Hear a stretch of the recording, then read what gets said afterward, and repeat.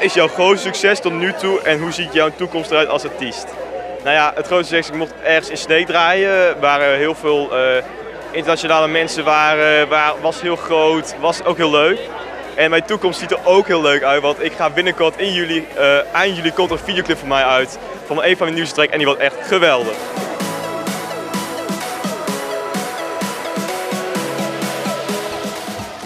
Wat onderscheidt jou van de concurrentie? Uh, ik denk mijn uh, enthousiasme en ik ben best zelfverzekerd achter de decks. Ozo en mixing technieken zijn wat anders dan anderen. En mijn platenkeuze is ook wat unieker als de rest.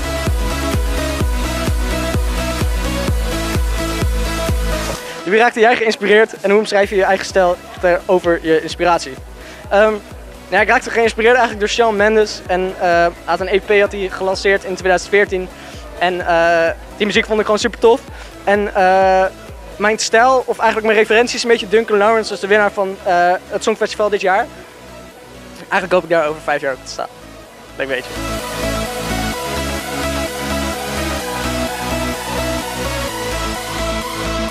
Waarom het Kunstbendenfestival en geen andere talentenjacht?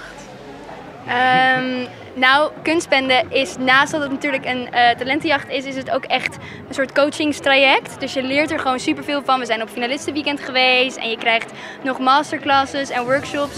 Waardoor je ook iedereen heel goed leert kennen. Waardoor het ook niet echt voelt als een competitie. Nu we hier zijn, je komt heet mensen tegen die je hebt leren kennen op het weekend. Dus ik heb niet echt het gevoel dat we echt heel erg meedoen aan een talentenjacht. Dus ja. Ik beschrijf mijn stijl heel energiek. En het is van heel allround.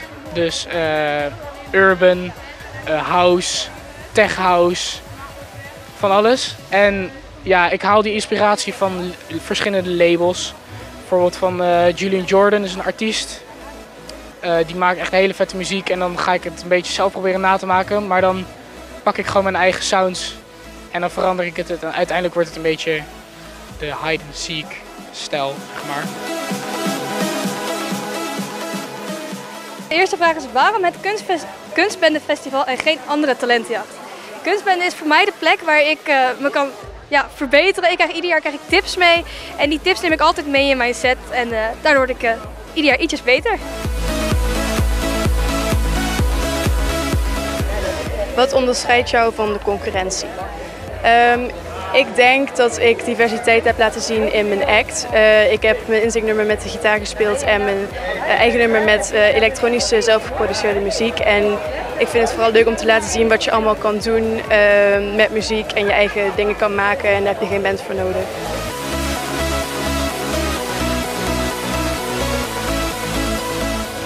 Je bent hier om te praten over het ontwikkelen van je talent. Waarom is het zo belangrijk anderen hierover te vertellen?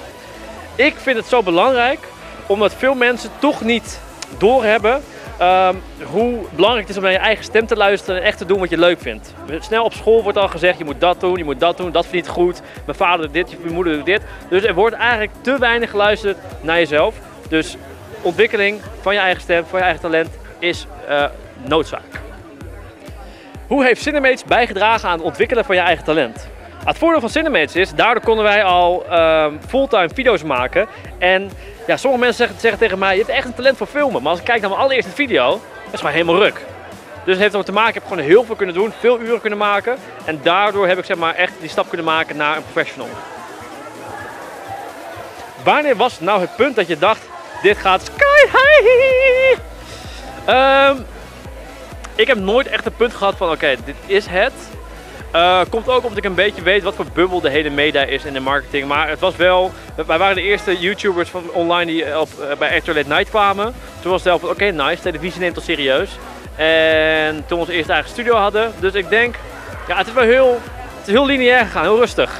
Um, dus laat ik het kort antwoorden. Bij Extra Late Night. Waarom heb je toen gekozen voor Engelstalig? Toen de tijd was het zo dat um, alles in het Engels klinkt toch gewoon vette. Wij, ik ben geïnspireerd door de Amerikaanse Hollywood blockbusters en het is gewoon super cool. Moet je je voorstellen, kijk, als je in Nederland, Nederlander iemand uh, uh, voorbij loopt en je moet hem volgen van volg mij. Maar in Nederland, Engels is meteen follow me. Dus het klinkt meteen voor, voor veel meer epic. Dus daardoor vond ik Engelstalig beter. Wat zou je nog mee willen geven aan ieder met een talent in Nederland? Als je een talent hebt, geloof er 100% in. Ook al lukt het gewoon niet op het eerste moment, beter fucking eh, eh, altijd proberen voor de rest van je leven en, en in ieder geval streven voor hetgene waar je van houdt, in plaats van genoegen nemen met minder. Oké.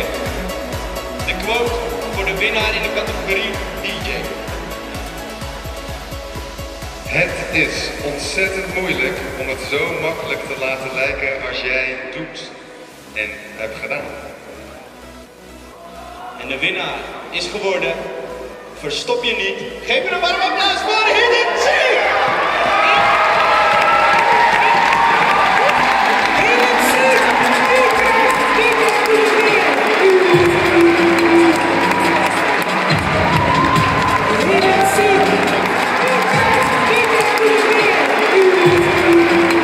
winnaar Kunstfestival 2019 categorie DJ. De o zo bekende vraag. Wat gaat er nu door je heen? Het, dat ik het niet besef. Dat ik niet besef dat ik heb gewonnen. Dat het... Ja, nee, ik besef het gewoon niet. Het moet allemaal nog één zinken.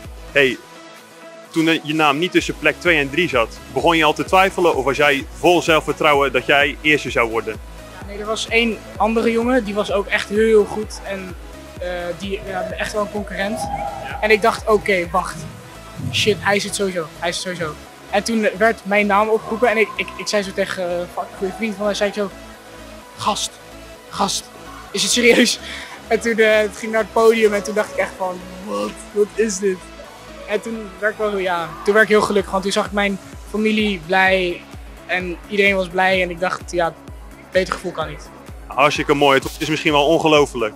Wat vond je familie ervan? Wat zeiden zij? Uh, mijn familie, dat, ja, zij waren heel trots. Ik bedoel, vorig jaar was ik derde geworden. En dit jaar zei ik echt van, ja, ik wil echt voor de eerste plaats gaan. Het moet gewoon of zo. Ik wil het echt, echt heel graag. Heb ik heel hard naar gewerkt en alle soorten uh, tricks bedacht hoe ik kan winnen, zeg maar. Uh, en dat heeft wel goed uitgepakt, denk ik. En nu, ja, ze hebben zeg maar deze weg hier naartoe, naar Mysteryland, hebben ze meegemaakt. En dat, om, zij zijn denk ik even blij als dat ik ben. Juist ja, heel hard werken. Dat is, jou, dat is misschien wel jouw beste tip voor young DJ's. Eigenlijk net zoals jou.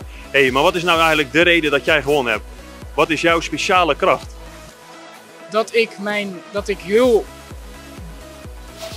netjes mix. En ook nog eens naar het publiek kijk. En ook nog eens rare tricks doe. En gewoon heel uniek zijn, denk ik. Dus uniek zijn. Dat is uniek zijn, dat is altijd goed. Dat hebben we hier ook vanavond gehoord. Hey, en wat ga je vanavond doen? Wordt nog één groot feest? Ja, ik ga ik even met een vriend mee naar, uh, naar zijn huis en dan gaan, we, dan, gaan we, dan gaan we daar gewoon even een feestje maken. Yes, hey, het weekend is alweer bijna te einde. Maandag gewoon weer naar school of wat is er voor jou op het programma? Uh, ik heb volgende week toetsweek. Volgende week toetsweek, dus ook eigenlijk gewoon nog een week uh, geblokt voor je toetsen en tentamens. Ja, ik moet gewoon morgen strijden en leren en alles. Dus ja, dat is het. En dan ben ik donderdag klaar en dan kan ik doen wat ik wil. Nog één laatste tentamenweek en dan gaan genieten van deze prijs, deze avond en van misschien ook wel jouw schooljaar. Ja, ja, nee, precies, helemaal gelijk. Nou, nogmaals van harte gefeliciteerd en dan wensen we jou het beste toe en veel succes op Mysteryland. Thanks.